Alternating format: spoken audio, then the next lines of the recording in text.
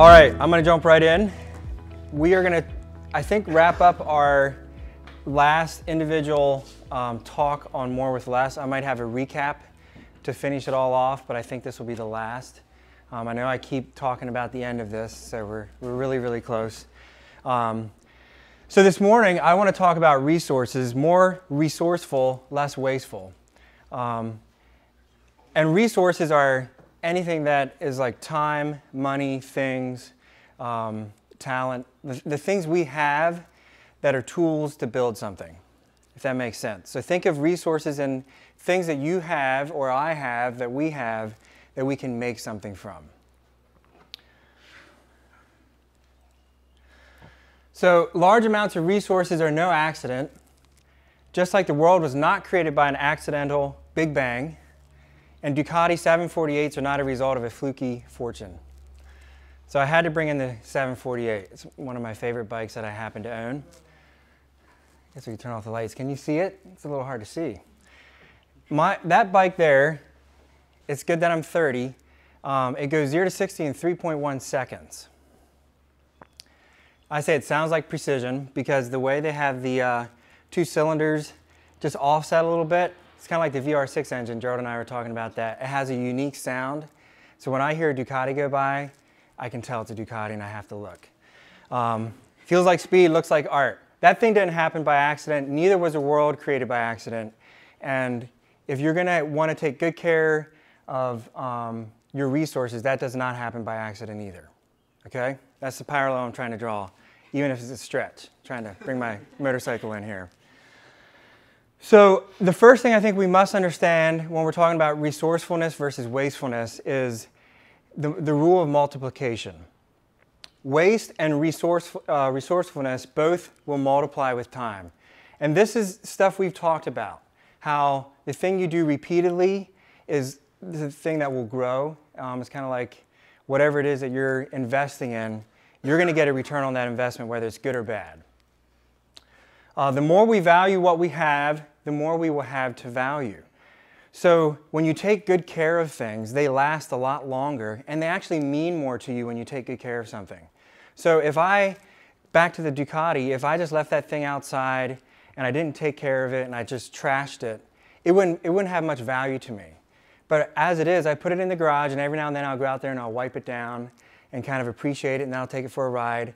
Uh, yesterday, my bike was down here, and I forgot my helmets were down here, and I decided I had an afternoon meeting at church, and I decided it'd be great to ride my bike back to church, my Ducati. Well, I didn't have a helmet, and so I just put on some glasses, and I rode to church, and I was there for my meeting, and I looked outside when we were in the meeting, and I was like, man, it looks like rain out there. Well, I leave church at about 3:30 and I'm about 5 minutes out from church and it starts raining cats and dogs.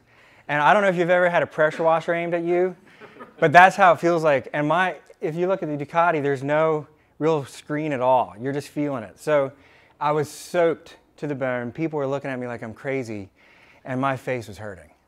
Um, but I don't normally drive my Ducati in the rain. I like to take good care of my Ducati.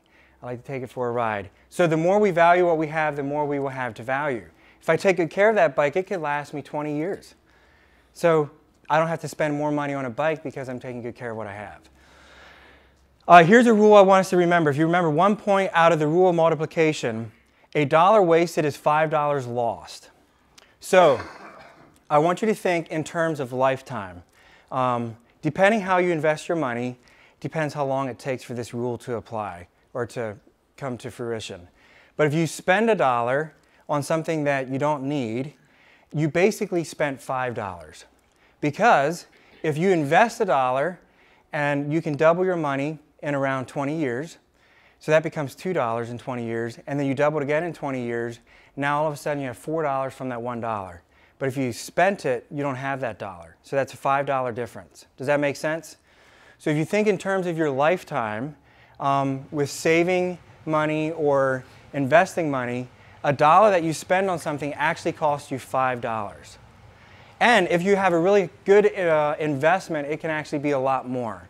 When Sarah and I were investing in rental properties, we were making closer to a 10 to 15% return because we were fixing things up. So that happened within 10 years, if that makes sense. A dollar would turn into um, two or three dollars in 10 years, so that time would be 20 instead of 40, depending on your return on investment. But the thing I want you to know is where you are wasting resources, it's costing you big time. It's costing us big time if we do that. So the rule multiplication um, comes into effect. Here's a very important thing when we're looking at our resources.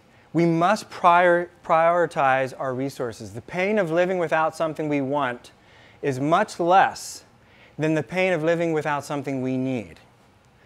So, if I want that Ducati 748, um, but I have a family and I'm having a hard time paying my grocery bills, my rent, my utilities, but I decide to go get the Ducati 748.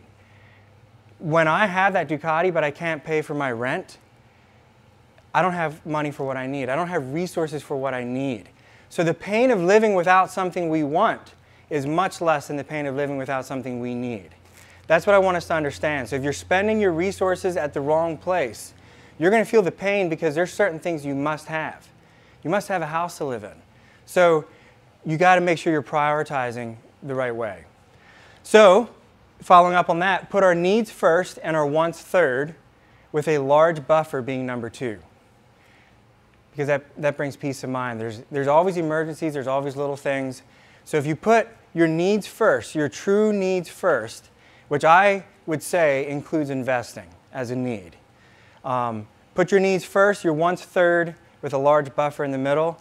I think that's how we should prioritize. And this here point, um, I have come to understand very much personally. If we take care of the most important priority first, in time there will be plenty for every priority. So, um, like I said, if you, if you invest well, if you spend your resources well, they multiply. And when they multiply, then you can start spending a little bit on some wants. You can go um, to Wendy's and not order off the dollar menu because you, take, you have taken time to save. Um, so Sarah and I did that like crazy. We made sure we were taking care of the first priority, um, the most important one, and with time, I could stop ordering off the dollar menu because I had money to order off the regular menu. It's amazing. Um, so, like I said, resources are tools. Some people get hung up on resources and they want to just gather everything they can, and all their life is just trying to figure out how to get more and more resources. First, they want to be worth hundreds of thousands, then they want to be worth millions, and it just goes from there because they think happiness is in having resources. But I want to say resources are not happiness. Resources are tools to build something. So build something great. Um, and to do that, we need to value all resources, not just one. So if you value money over time, guess what? You're willing to work insane amounts of hours because time means nothing, money means everything. Okay? But if you value both time and money, that'll bring a balance to your life where you're going to say, you know what, I need time to spend with my wife, with my kids, with my family, with my friends. And so you're going to, you're going to balance time and money. You understand what I'm getting at there? So value all resources, not just one. You can make a lot of money if you're willing to work a full-time job plus a full-time, um, part-time or side job of investing in houses, fixing up houses, whatever it may be, um, you can make a ton of money, but you will have no time. So value all resources, not just one. And now, here's another one, know when to value one over the other. So a wise person will know when they should spend a little bit more money to save a lot of time, or when they should spend a little bit more time to save a lot of money. You have to be wise in the way you use your resources. So if you want to build something great, everybody who's built something great knows how to value one resource over another at different times depending on the situation. So put your brain to it and figure out what's the best value I can get with my resources, all of my resources. Um, so again, I said this earlier, resources are tools and tools build things, so let's build something. Don't go after money, don't go after time, don't go after things, don't go after um, even influence and all those things, those resources that we have just for the sake of getting them. Have a reason you're going after that that's bigger than just the resources themselves. This one here, I think, is amazing. Quality of life is everything money and things pretend to be. I want you to think about that. The American dream teaches us that if you have plenty of money and you have lots of things, you're going to be happy. I don't believe that's true. I think if you build a high quality life, you're close to the people you love, you have time for the things that are important, um, that is way more valuable than money and things. I would take a huge pay cut to keep the amount of time that I can sit and think and I can hang out with God and I can spend time with Sarah and I can go for a drive on the motorcycle. I'll take a huge pay cut to get that versus having all the money in the world but no time. So, quality of life is everything money and things pretend to be. So when you're when you're thinking about that and you're you're hearing the American dream and all this stuff coming at you, just remember that. A simple life can be way more fulfilling than having all the things in the world. So build something great. So remember the rule of multiplication.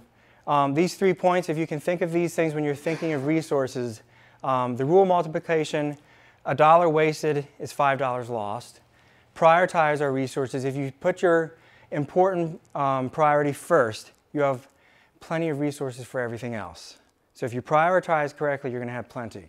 And then build something great. Don't just use resources and gather resources for the sake of having resources. That doesn't do anything. Build something.